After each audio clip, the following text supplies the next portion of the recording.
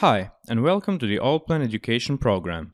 Here you will learn how to create projects, define architectural elements, define rooms, stories, visualize the object and make detailed plans and project documentation. So let's begin.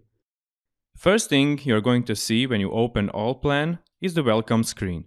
Here you can create new project, open recent ones or make copies of your project.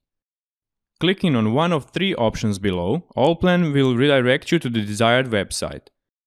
Via Allplan Connect, you can access additional project documentation, smart part and furniture elements. Also, you can download the latest software updates and step-by-step tutorials. Open Exchange is the ultimate solution for delivering plans digitally, and Bimplus is the online platform where you can upload your projects and expand your collaboration with other project participants through different roles, tasks, calculation, and so on. Go to New and enter the name of the project. The location of the project can be localhost, which means that the project will be saved to default path on your computer and will not be available to other users in the office.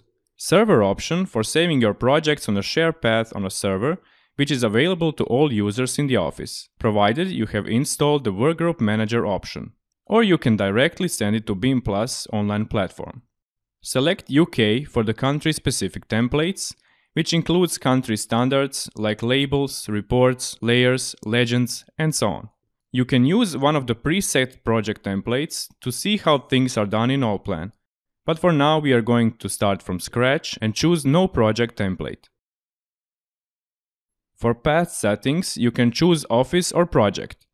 If you choose project, then when you choose to export your project to someone, you will send all your information, all your created lines, patterns, layers to the other person.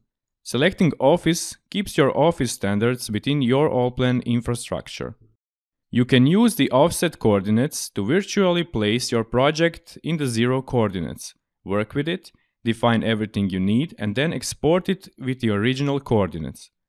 Working close to origin can speed up the process and software calculations, and can also give you more accurate visualizations.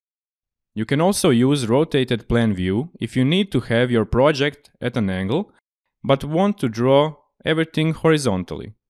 Click on Finish and the project is now created. To access all previously created projects, go to New Project Open Project command, and to access the Welcome screen, go to Welcome Screen command in the upper right corner. Thank you for your time and see you in the next video tutorial.